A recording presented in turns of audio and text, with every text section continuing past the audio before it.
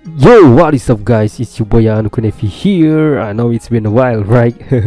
Alright guys, so apparently the new version of Fortnite just came out today. But if you install the new update on your unsupported devices, you will face uh, a little problem like this. Okay, so let me show you. You will uh, face a problem, a, a graphic errors like this. Okay, let me show you okay optimizing content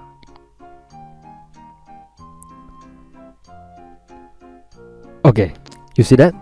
Graphics error. Unfortunately Fortnite encounter an error indicating an incompatibility with your mobile devices graphics driver blah blah blah blah blah blah.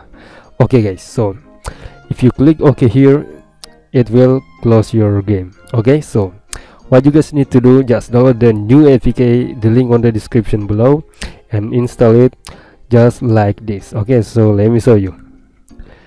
Okay so this is the new apk just install it like this. Okay let me install this first. Okay it's installing now. Wait a second. Okay it's installed now so let me open the game again and let's see what happened. Okay it's starting Fortnite and and boom. Yeah. It works guys. It really works okay? So you guys uh, having a problem like that just download the new APK link on the description below. Alright guys so okay let me finish the loading first alright guys so you see it works. Okay now let me show you uh, the version of this new Fortnite. Okay let me show you.